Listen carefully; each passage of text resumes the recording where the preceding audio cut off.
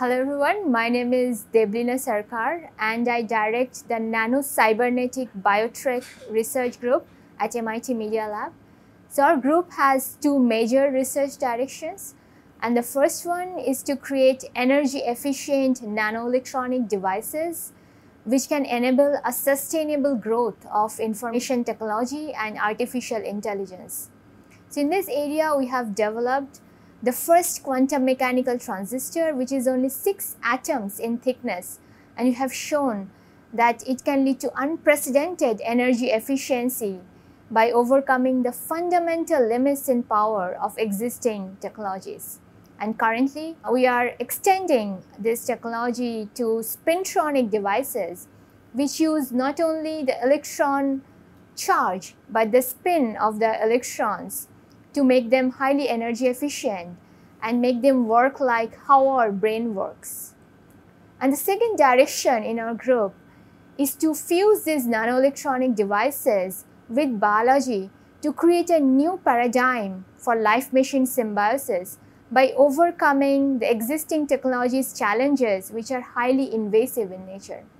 So our technologies consist of devices which are extremely small and they can fuse seamlessly with our biological systems.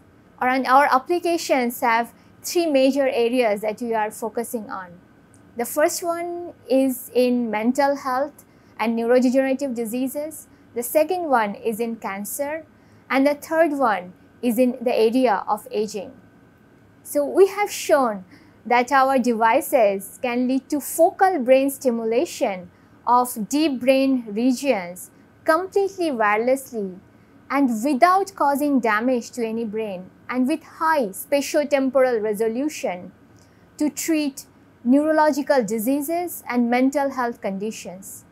In the area of cancer, we have shown that our novel bioelectronic therapy can kill cancer cells, even those which are resistant to drugs and radiations. This is particularly critical for brain cancer or glioblastoma, as well as breast cancer brain metastasis, for which currently there is no cure. Thus, our technology can have huge implications for women's health.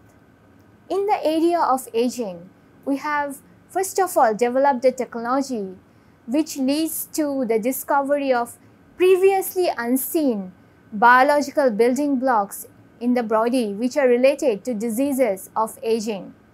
And currently, we are employing our technology to clear these pathological aggregates which can address the very root cause of the diseases and even help us to reverse the course of aging.